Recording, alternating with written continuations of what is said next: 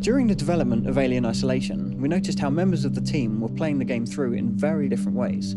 Some people would sprint through, make a lot of noise, and then try and hide from the alien. Others were taking very stealthy and careful approaches, and other people were just going guns blazing. Gradually, members of the team became quite competitive and started issuing challenges to one another.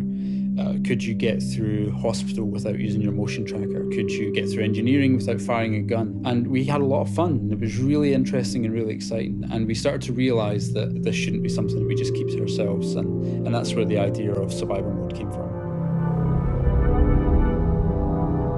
Survivor mode is all about the enemies of Alien Isolation. These are specially designed challenges where the player must complete objectives against the clock while being hunted.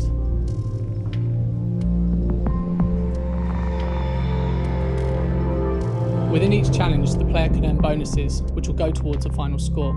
These can be things such as did you hide, did you collect any items, were you detected.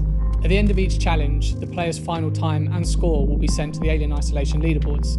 This allows them to compete directly with their friends and other players.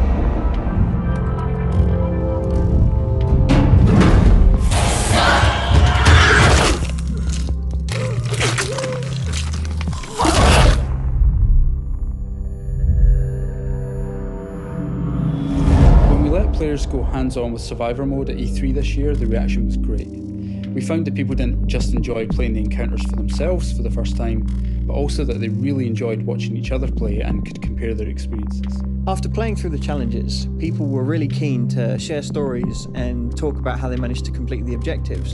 And people got really excited when they saw how differently their results were turning out.